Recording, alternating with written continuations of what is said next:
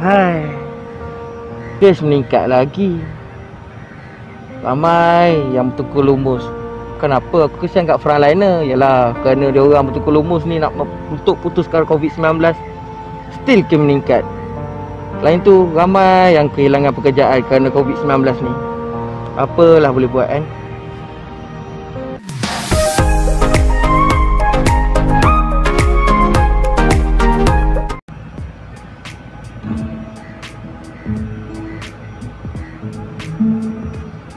Assalamualaikum brother. Waalaikumsalam. Taklah lama. Jap, kau daripada mana ni? Aku dari pasar. Beli jajan sikit. Kau kau daripada pasar?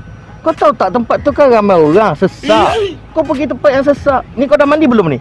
Aku dah mandi dah. Mana aku tu? Tak tahu kau dah mandi, kau pergi pasar semua tapi balik daripada pasar kau kena mandi. Bukannya kita gering kau dibusuk ke tak, tapi kau berisiko tinggi tau nak kena jangkitan Covid ni. Ni satu lagi jap, aku nak fikir. Mana kau punya face mask? Oh, best aku lupa bawa lah. Aku banyak lupa bawa. Tak, sekarang kau kena tahu kerajaan telah tetapkan bahawa kita wajib pakai face mask. Kalau tak kau kena denda seribu tau. Do it! Ha, ni satu lagi, kau datang dekat-dekat ni ha. Kau kena kekalkan penjarakan bahawa kita kena duduk lebih kurang satu meter tau.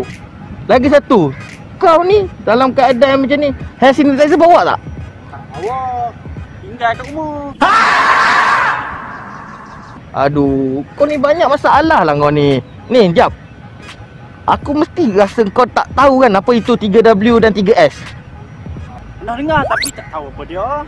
Kerajaan telah bagi tahu dekat semua platform media masa bahawa kita kena amalkan 3W dan elakkan 3S.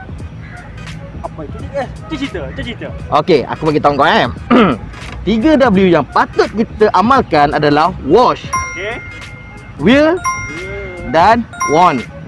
Dan kau kena elak iaitu 3S. Antaranya adalah sesak, sempit, sembang dekat-dekat. Ha, jadi kau faham? Faham, faham, faham. Kita seharusnya ikut dan patuh arahan dan SOP yang telah ditetapkan oleh kerajaan. Kita budayakan norma baru. Kita jaga kita. Pesanan ringkas dari kami, Jabatan Penerangan Negeri Kedah.